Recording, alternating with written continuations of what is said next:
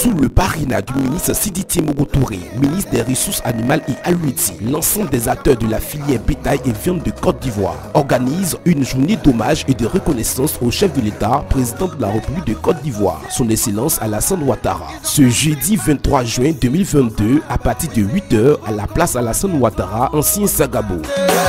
acteurs de la filière bétail et viande de Côte d'Ivoire, population de Boaké et de Becker, vous êtes tous conviés à ce grand événement. Info Live 07 59 57 30 68 07 58 38 48 14 01 50 06 71 79